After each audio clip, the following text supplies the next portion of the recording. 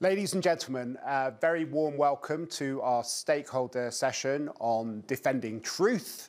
This is quite possibly the single most important event that is taking place during the World Economic Forum because truth is obviously the foundation on which all of the other discussions are based. And if you look at the world that we're in at the moment, it does feel like this, this idea of defending truth, defending the truth, is a kind of mission impossible. Aeschylus famously said that, um, truth is the, the first casualty of war. Um, and it's not just that we have many wars going on at the moment, but Aeschylus never lived through a modern election campaign, never, never came across artificial intelligence. And the challenges to our information ecosystem are so fundamental that they are actually starting to affect every single aspect of, of, our, of our lives. And that's why many people are, are talking about how this new era that we're going through could, in fact, be the era of artificial truth. Over the next 45 minutes, we're going to diagnose some of the problems facing our ecosystems, looking at the challenges that consumers face in, a, in an era of misinformation, and think about how public institutions and media institutions can adapt to and affect this new reality. And we have a real all star cast to help us make sense of these important questions.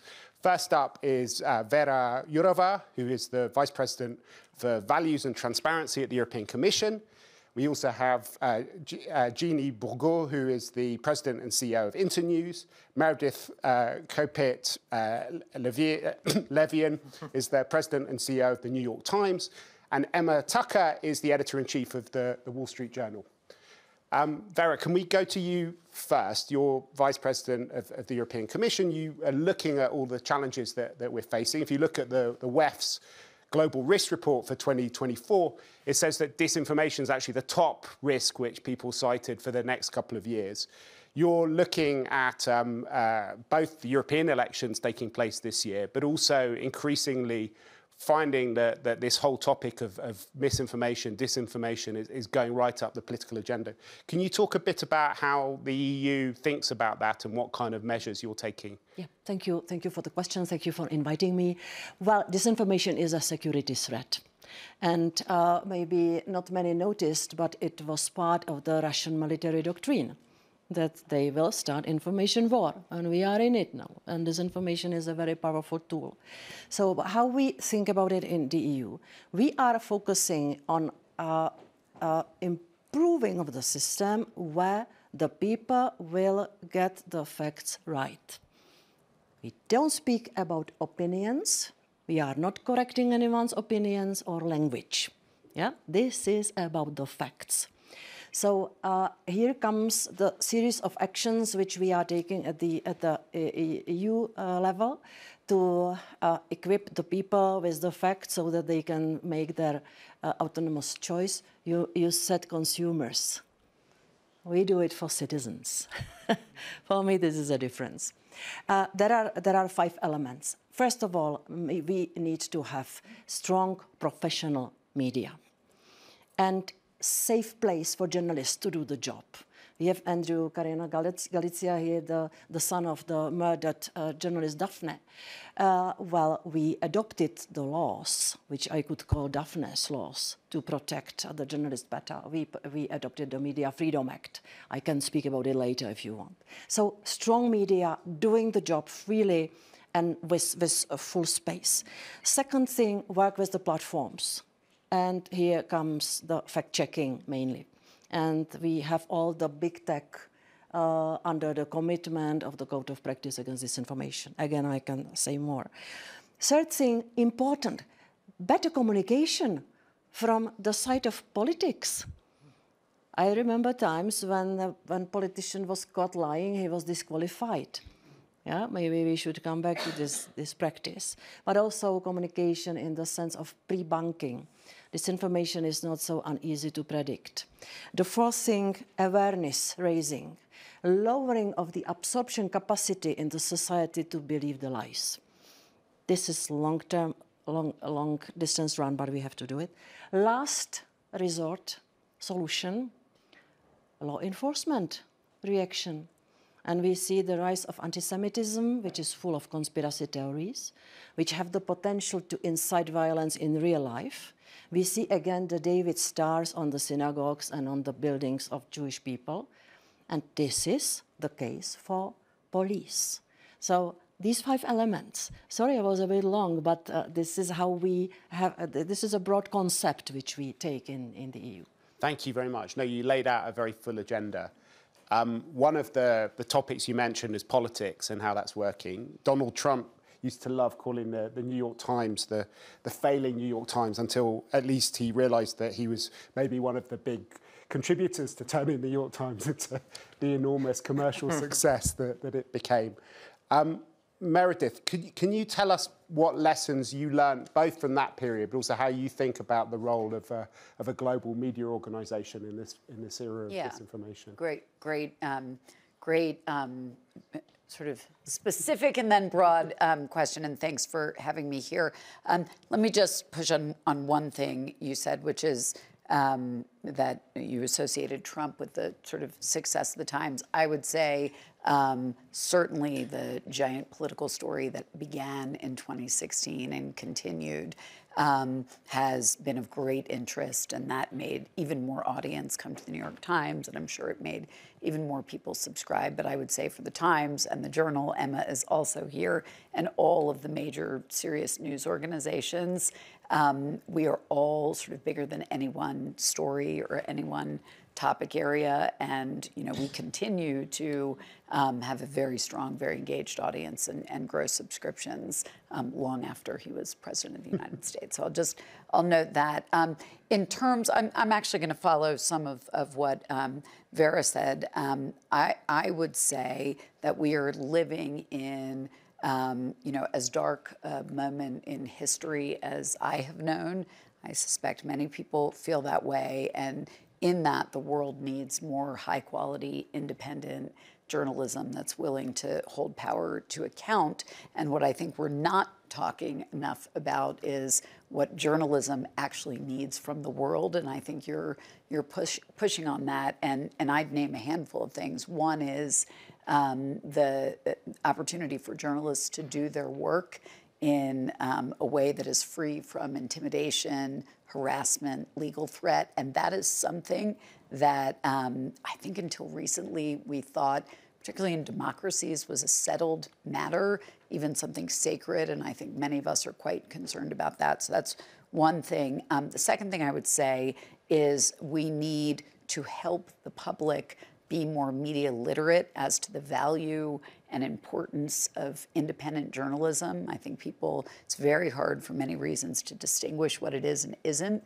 Um, and we need a public that understands the value of journalism that's from a posture of sort of searching rather than knowing and that doesn't play for a side or, or a team and third, I think we need sustainable business models for media companies. Vera said um, you need professional media organizations. Well, those organizations have to be able to make money to put their reporters into harm's way, have the people who endeavor to keep them safe, have expert editors, have all the people who find and build audience that is really intense, expensive work, requires people who can do great kind of human ingenuity and technological innovation, and it costs a lot of money.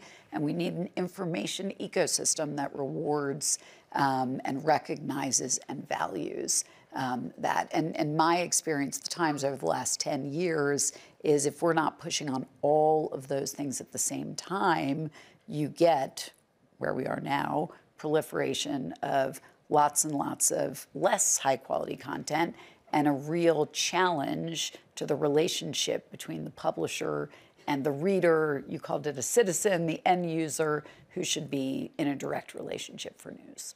Great. So, Emma, the meta theme for, for this year's Davos is this idea of building trust. And that's one of the, the biggest challenges for, for media organizations in this media environment that's awash with different information from conflicting sources. How do you go about building trust? Well, um, I really want to echo a lot of what um, Meredith said there. I agree with it entirely. I think there's a very specific challenge for the legacy brands like the New York Times and like the Wall Street Journal. I mean, interestingly, when there's a big big news event, a big world event, people still come to the legacy brands. We still have a lot of trust. But I think you only have to go back. I think I think we have to maintain that trust and we have to work at maintaining it in a way that we didn't have to do not so long ago. So if you go back really not not that long ago, as I say, we kind of we owned the news. We were the gatekeepers and we very much owned the facts as well. If it said it in the Wall Street Journal, the New York Times, then that was a fact. Nowadays, people can go to all sorts of different sources for the news, and they're much more questioning about what we're saying. So it's no longer good enough for us just to say, this is what happened, or here's, here's this is the news. We have to explain, our, almost like explain our working. So readers expect to understand how we source stories. They want to know um, uh, how we go about getting stories. They, we have to sort of lift the bonnet, as it were, and in a way that newspapers Oh, you know, aren't used to doing and explain to people what we're doing. We need to be much more transparent about how we go about collecting the news in order to keep that trust because the trust is our most valuable asset. And the minute we let go of that, then you know our business models, frankly, will fall apart. That also means uh, we have to correct our mistakes. We have to be honest when we make mistakes. We, we have to not be afraid of that. And I think as well, uh, we just we, we, need to have a much more open relationship with our readers. We have to be more responsive to what they want, what they expect of us, and we have to yeah just keep it have more of a dialogue. It used to be very much de haut en bas mm-hmm. with newspapers, and I think those days are over. Um, and I think the, the the feeling we get is that readers really enjoy that. They like it. They like us to open up and, and tell them what we're going on. I think the challenge for us is the people who say they trust us and want to understand why they should trust us tend to be the same people. We're preaching to the converted. The challenge is how do we reach the people That's out right. there who don't read the Wall Street Journal, who don't read the New York Times, who, who don't listen to the BBC or whatever? How do we, how do we persuade them of the value of trusted news? Great. So, Jean, can you talk a bit about how civil society can, can actually contribute to this process and how civil society can help to, to tackle disinformation? Well, I, I, guess I want to say at the start, sort of, that I am, yeah, I am civil society. We're not, a despite our name, Internews, we're not a news organization, but we do support news organizations all around the world, working in about 130 countries, and we work particularly in places uh, that free and open information struggles to exist. And so sort of all of the challenges that we've been talking about up until now are amplified a, a thousandfold if you barely have a market economy, if you're facing conflict. And I will want to note that the elections that we're talking about are happening in 64 countries, which means many of them all over the world where they have less healthy information ecosystems. So from our, our perspective is that what we need to do is really bolster those information ecosystems in, in the similar strategies that we've talked about here um, we look at it sort of from an information integrity perspective, like how do you build that health, and from a demand and um, supply side. And if you think about the supply side being the production of news and information that is that is trusted, um, on that side you're sort of both trying to minimize the bad stuff and maximize the good stuff. And again, we've sort of been talking about that here already. And on, on the minimizing, I want to stress a couple of points of, of the bad is disinformation makes money and it's that's one of the we right. need to follow that money and we need to work with the and particularly the global advertising industry that a lot of those dollars go to pretty bad bad content um, and so you can work really hard on exclusion lists or inclusion lists to sort of really try to focus ad dollars and challenge the global advertising industry all around the world to focus their ad dollars towards the, the good the good news and information the good the accurate and relevant news and information um, and then on that we've talked a little bit about the platform side. It's really complicated. I mean, the, the European uh, Commission is doing amazing work in this in this area, uh, but we know that it's complicated. We also know that more can be done. We know that there's not enough trust and safety people. In what sorts of things do you think could be done specifically? Well, I mean, there's a lot of language in, the, in this world, and when you only cover 12 or 13 languages, you're missing the vast majority of the world. And so, I mean, getting local language expertise so that you can protect all of the world, and it's just just wildly too few people sort of looking at it. Um, I do think there's interesting uh, interventions, civil society interventions. I mean, the Facebook Oversight Board is interesting, and interesting conversations are happening because of it. Australia has a an e-commission on, on, on, e-safety. That's a, a, brand new sort of an, an, an, unusual thing in the world. So these types of things can help really sort of uh, protect from the, the most egregious digital harms, but it, it only gets at the most egregious at that point. So lots of questions have been raised. So I'm going to sort of dip into some of them and try Yeah. and talk about them. One important thing you mentioned was this idea of the business model, and you mentioned that as well. I don't know, Meredith, if you want to go into a bit more detail on that, because a few years Yeah. ago that was the, Everything. Yeah. the- that was Can I talk about why that? I feel like we don't Yeah. talk enough about why that happened. Um, I'm going to repeat something I think I said before, which is at its best, news is experienced in a committed relationship where you go to one or a handful of providers that you trust are going to have a team who are going to bring you you know, information you can trust that is fact-based, that is worthy of your time every day. And I think um, over the last decade, probably a little longer, the relationship was just intermediated between the the reader or the listener or the watcher and that publisher who spent all the money gathering that information and, and creating creating journalism around it. And that um, that was not good for the consumer's understanding of what they were I'm going to say reading, but I mean watching and listening to for what they were reading. It, you know, when when much of news is experienced by the public as a bunch of atomized stories traveling around the internet, sort of divorced from their context, divorced from what Emma was talking about, which are the signals to say this is news or this is a, an opinion.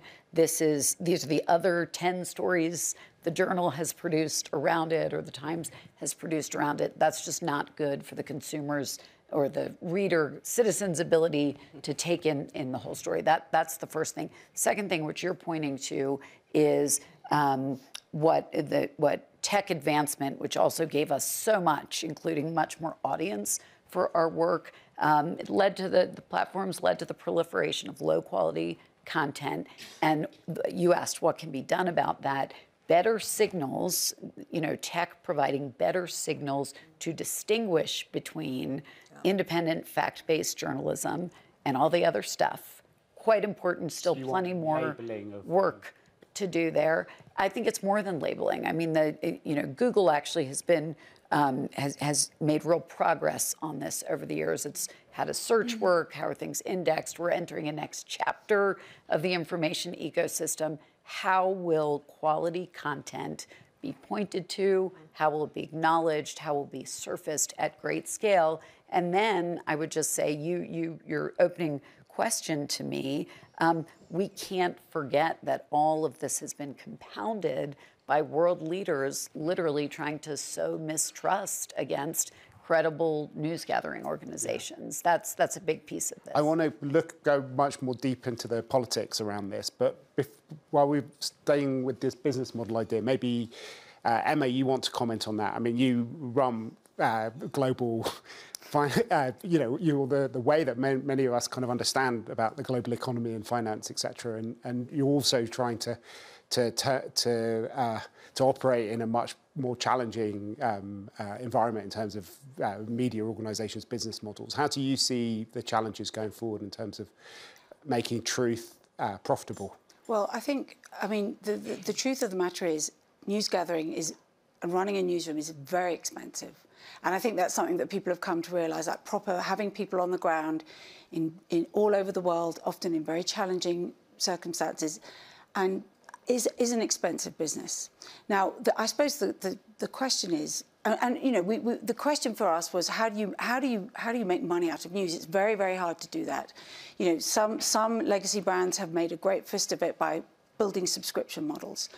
But in the future, um, I, I don't know. I mean, it could be that the newsroom of the future is a lot smaller than the newsroom of today because AI will most definitely play a part in news gathering. And perhaps you'll just have much smaller newsroom with, uh, you know, a team of editors, of, you know, human oversight for what AI is generating. But I think the, the, the question of how do you, how do you fund trusted independent news is it will continue to be a headache for all of us. I don't think I mean, we may have cracked it for now with the subscription model, but that that obviously you know doesn't include it's not very inclusive a subscription. Uh, we're quite expensive. I hate to say it, but we are, and you know, and that means there will be people who simply cannot afford to pay to pay for Yeah. it. Can I add a couple things to this? I want to really come in behind Emma on how expensive it is to do high quality mm. news gathering. And by the way, in, just in the United States, I think like a quarter of all the newspapers have closed. That has decimated local journalism, and many more will still close. Many, many fewer working journalists. I want to suggest that what we need from here is more journalists. The world needs more understanding. It needs more people with some semblance of expertise on the ground asking other human beings, bearing witness, trying to figure out what happened with being edited by experts, by the, you know, like the people who work at the Times, who work for Emma at the Journal. We need more of that. I, I am hopeful, as you are, Emma, that there will be aspects of our business processes and companies and the way we go about some of the work that technology will help us do more efficiently. But ultimately, I want to say when I talk about um, a sustainable model for high quality journalism, I mean being able to keep many, many people on the front lines of important things unfolding in like every aspect of the human experience and be able to say, human to human, this is what's happening here. And I want a bigger newsroom. I bet Emma wants a bigger newsroom. And that's really what we're trying to have. Vera, do you want to say a bit about what you think the the responsibility for institutions like the European Commission is in term, creating uh, this sort of environment where you can have these flourishing media organisations that, that make money and that are able to to sustain networks of journalists on the ground around the world? Mm. Well, I am European politician slash regulator. Yeah. Uh, as a person, I lived half of my life in a totalitarian regime. I know how it tastes to live in one official doctrine. So you can imagine what kind of courage it required for me to get into the even the thinking of how better to regulate information space. Mm -hmm. Do you, do you hear it, how it sounds? Dangerous. Yeah. But uh, we, we had to look into the reality that uh, the European information space was already far before uh, invasion to, of Russia to Ukraine, it was overflooded with, with, this information, not only born in, in Kremlin, but, but also some, some other sources. And so we started with the analysis, uh, uh, what uh, needs to be improved or regulated. When it comes to digital space, we were mainly focusing on illegal content, which is child pornography, extremism, violent uh, extremism, terrorism, and hate speech. Mm -hmm. It's its most violent form. Yeah, these are things which are prohibited in all EU member states criminal laws. Yeah, so nothing new.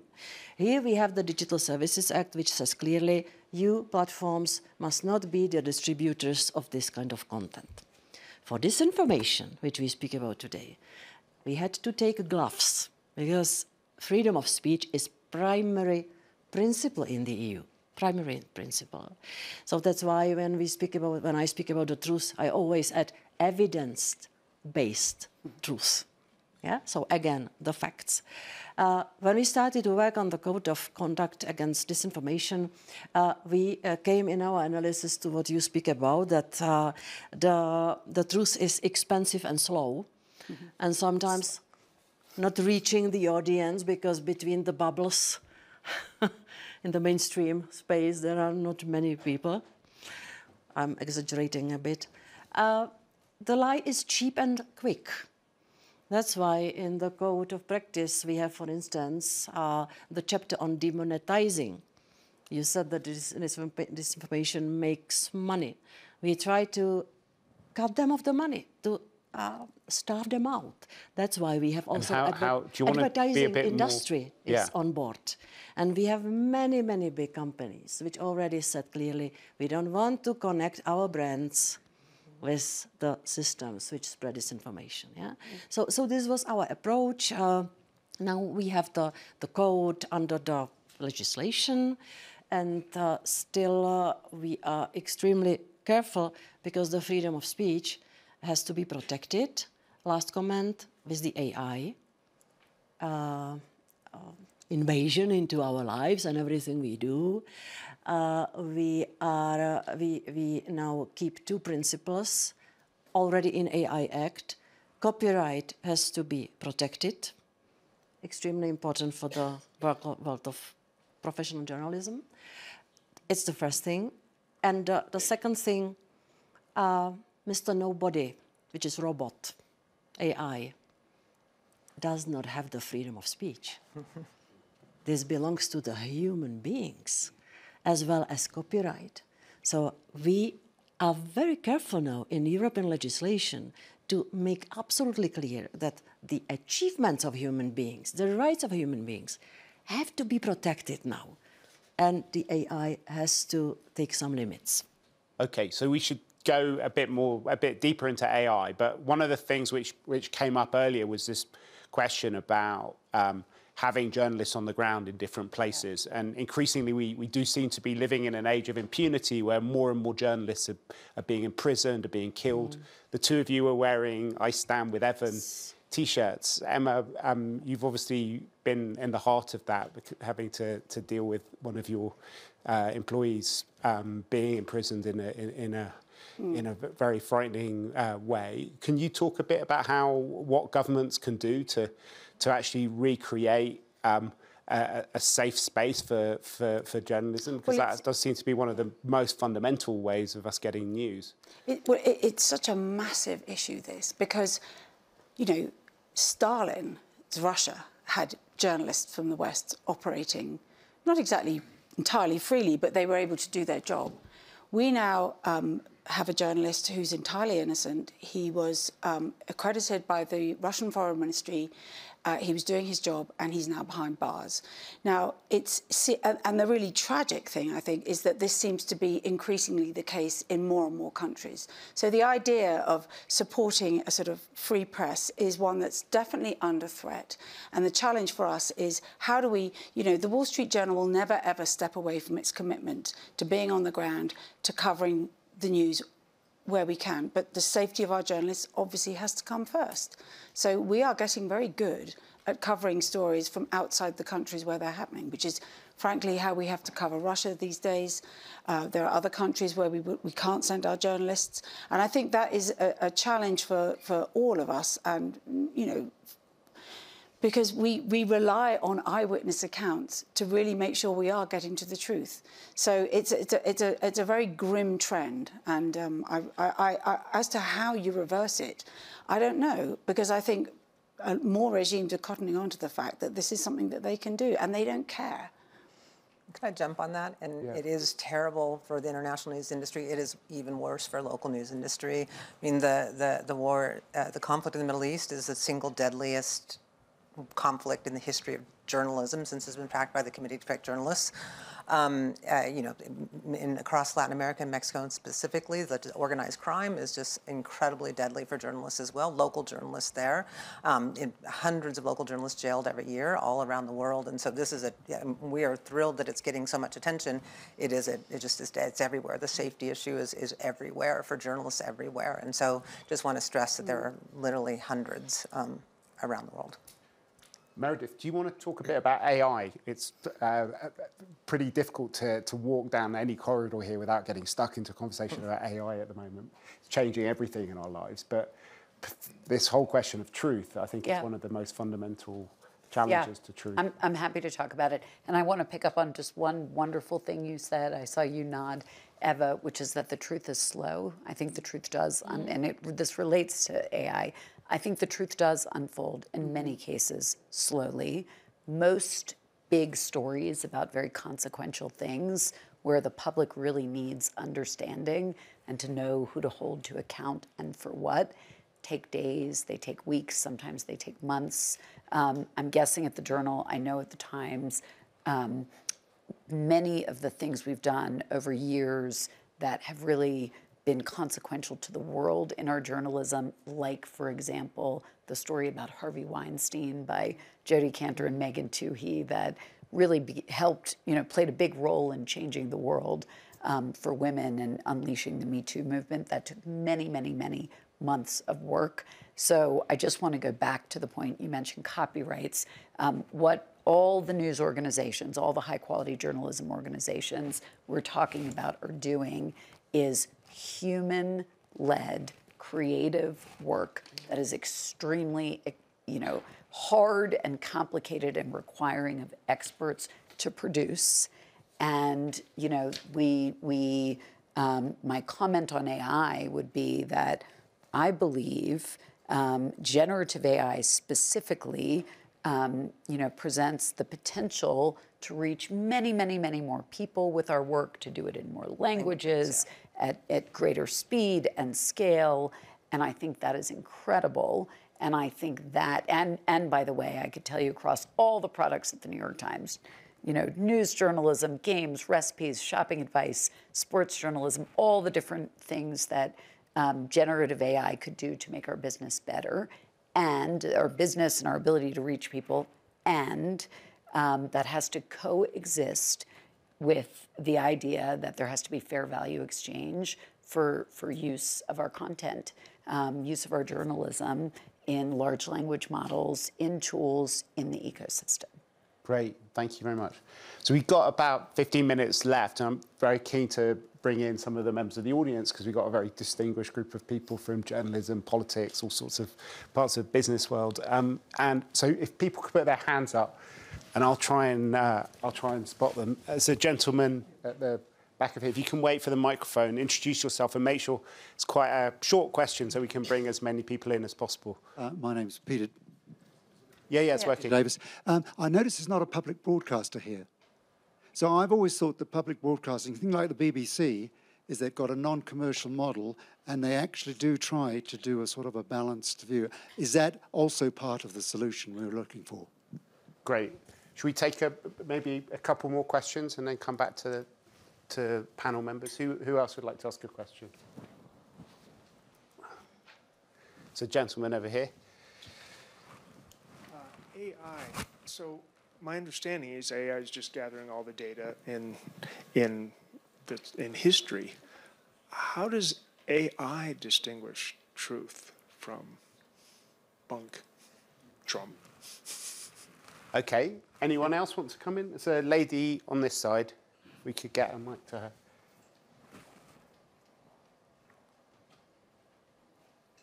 Thank you. Um, another angle we haven't discussed is the youth and they consume news in a very different way than I do. Mm-hmm. So um, I'd love to hear your thoughts on that. Thank you. Great, fantastic. Okay.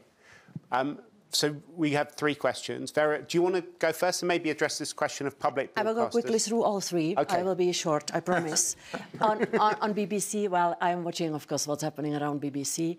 Uh, UK is unfortunately not in the EU anymore, but uh, for the EU member states, we uh, we put into the Media Freedom Act some rules for the public service media to get sufficient financing and transparent processes for the for the people to lead this.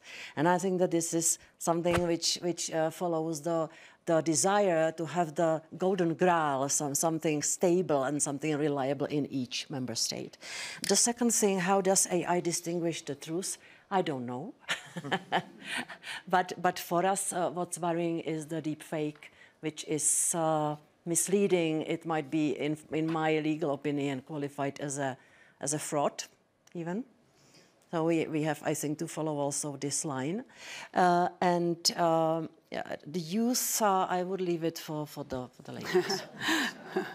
I can just two, the, the first and the third one. Um, I think public broadcasting is one of the many models that we are looking at around the world. It is difficult to set up. It's expensive for a state, and a state needs to be well run to have a good public broadcaster. But I'll say that the public broadcaster in Ukraine is doing a wonderful job covering the war, and so it is a model that's hard, but one that can sometimes be replicated. It's just pretty rare around the world that it actually works um, but it is definitely in the in the hopper. On the third, I mean, I think that we cannot ignore the fact that Gen Z gets their news from TikTok, um, and it's a really intimate and different form of media, uh, uh, not, not, a news site necessarily, but I say that one of the big things that hits there is we need to recognize that all this sort of intentional disinformation just amplifies crazy as misinformation, you know, unintentionally sharing false news, and it happens a lot, and, but in a really intimate way. And so I don't think we know how to handle it, but we definitely have to be working in that space. Yep. Yeah, I'd love to pick up on the youth question, make a comment or two about AI, but um, on um, you know the, the, on your point about TikTok, I I think it's something like some huge percentage of young people say, I get all my news on TikTok. 51% Um, according to Deloitte. And I've, I've looked at all different numbers this week. Yeah, it's a yeah. huge, per- too many, huge percentage of people. And by the way, TikTok is awesome. I have a 12 year old. I know how awesome it is.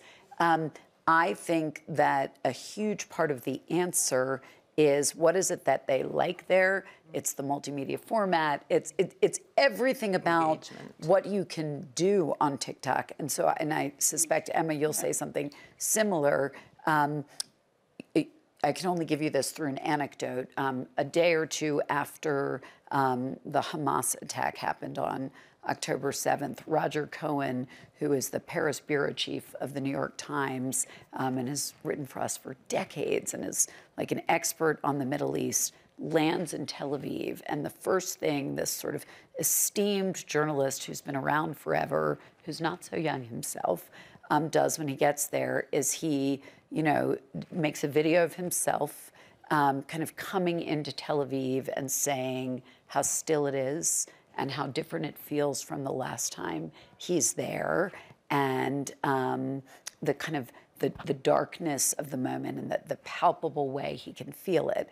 So what, what do I mean by that? You've got the journalist putting himself at the center of a piece of our journalism, very different from what the Times and the Journal would typically do in a newspaper fashion. Sorry, Emma, to speak for you, but I'm guessing certainly very different from what the, the Times would do. That's one. Two, you've got a man who has been doing journalism forever, um, actually just taking a selfie video as he would do if he were making a TikTok, and our team adds some multimedia to that, or even he's able to. And three, he's talking to you like a human being in a conversational voice. And a lot of what I think um, news organizations need to do, and I think, Emma, you pushed on this, is to talk in more casual ways about serious things Yeah. with the weight and the authority, but a voice that doesn't feel like this is some nameless institution, but these are human beings actually coming to you with the word. Yeah, so I, I, lo- I love that anecdote, and I think it's I, I think it's any suggestion that young people don't care about the news, the truth, is so patronising. Yeah. They do, Yeah.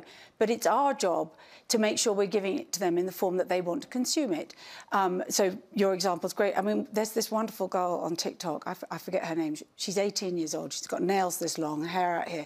Every day or every so often, she gets up and she she reads out articles from the Wall Street Journal that she loves, and it, she actually gets the print edition. This is what's so funny, and then she sort of translates it for a TikTok audience.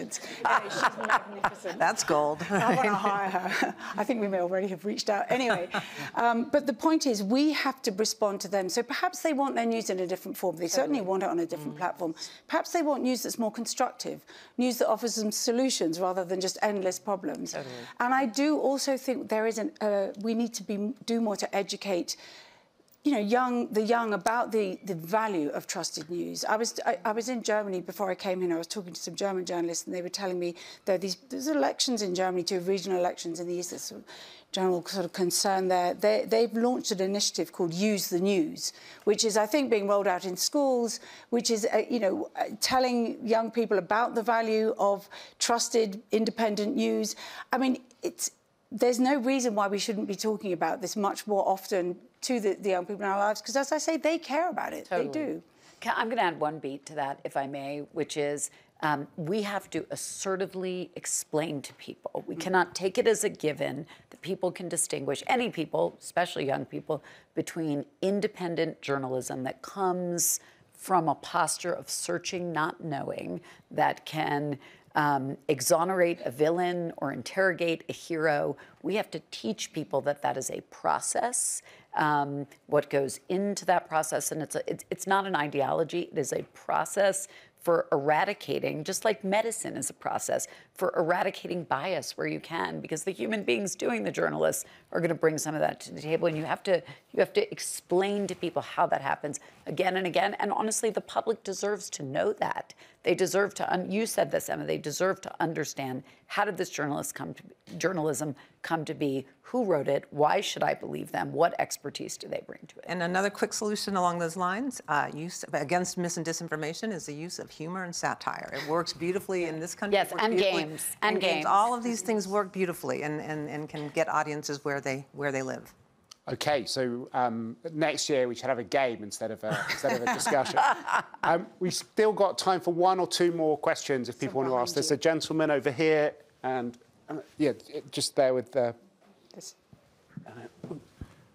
Hello, my name is Markus okay. Price. I'm working with ARD German TV, so I'm uh, uh, working for a public broadcaster. I appreciate uh, your statement, uh, Vera Jourova, but how will the Commission navigate uh, in the future if we see revenues and profits shrinking for the private companies and having strong public broadcasters who are a competitor in any case? So will you value this in the future? And the other question goes to uh, Emma and Meredith uh, concerning the fight against uh, misinformation. If you have a lot of misinformation, do you see a fatigue to write about it? Because doing that, you also spread them again. Uh, so will you print all the news that's fit to print, or will you write about all the news that were not fit to print before? Thanks. Okay, one time for one more question. Lady at the back. Great, thank you. Well, wonderful panel. My name is Dr. Roopa Dhatt, and I lead the fastest growing women's movement in health called Women in Global Health. And it's wonderful to see this all, um, almost all women panel. Um, and while we are, um, you know, uh, really excited for this discussion, as a practitioner myself and leading this global movement, we know misinformation is uh, really affecting the health sector. It's uh, breaking down the trust between providers um, and their patients and communities. Um, and we are all, you know, hoping to move past the pandemic, but it still is a pandemic. What lessons have all of you learned um, that can be passed on um, to the wider society that's um, trying to really make sure facts get in front of people so that they can make the best health decisions? Yeah. Thank you. Great. So um, we've got time, I think, for each of you to, to try and answer those questions as, as best you can. I can give a really short answer to that, which is you need, and I think it may get at your question. Um, the only answer, in my opinion, is strong, um, independent news gathering organizations that can reach many, many people with their work. That is the only answer. And on your question about AI, the information ecosystem will only be as good as the inputs. And in news, those inputs must begin with human news gathering, as Emma described. Okay, Jeanne, do you want to go next? Just on the health uh, information piece, uh, the, the mis and disinformation that was polluting that space is similar to that polluting the climate and environmental space.